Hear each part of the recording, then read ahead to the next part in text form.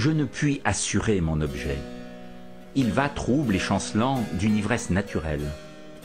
Je le prends en ce point, comme il est, en l'instant que je m'amuse à lui. Je ne peins pas l'être, je peins le passage, non un passage d'âge en autre, ou comme dit le peuple, de sept en sept ans, mais de jour en jour, de minute en minute. Il faut accommoder mon histoire à l'heure. Je pourrais tantôt changer non de fortune seulement, mais aussi d'intention. C'est un contre-rôle de divers et muables accidents et d'imagination irrésolue, et quand il y échait, contraire. Soit que je sois autre moi-même, soit que je saisisse les sujets par autres circonstances et considérations. Tant il y a que je me contredis bien à l'aventure. Mais la vérité, comme disait Desmades, je ne la contredis point. Si mon âme pouvait prendre pied, je ne m'essaierais pas, je me résoudrais. Elle est toujours en apprentissage et en épreuve. Je propose une vie basse et sans lustre, c'est tout un. On attache aussi bien toute la philosophie morale à une vie populaire et privée qu'à une vie de plus riche étoffe. Chaque homme porte la forme entière de l'humaine condition.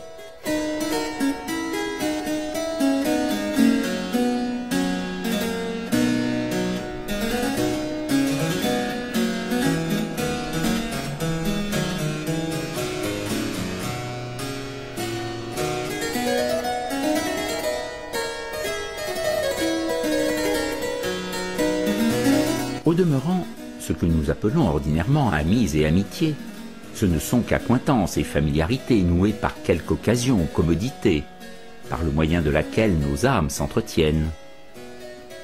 En l'amitié de quoi je parle, elles se mêlent et se confondent l'une l'autre, d'un mélange si universel qu'elles effacent et ne retrouvent plus la couture qui les a jointes. Si on me presse de dire pourquoi je l'aimais, je sens que cela ne se peut exprimer qu'en répondant parce que c'était lui, parce que c'était moi.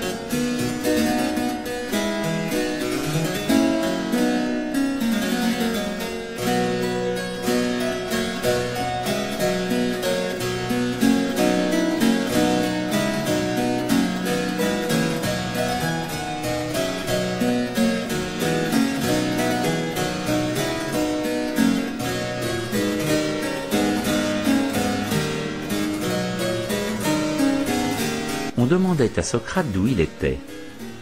Il ne répondit pas d'Athènes, mais du monde. Lui, qui avait son imagination plus pleine et plus étendue, embrassait l'univers comme sa ville, jetait ses connaissances, sa société et ses affections à tout le genre humain.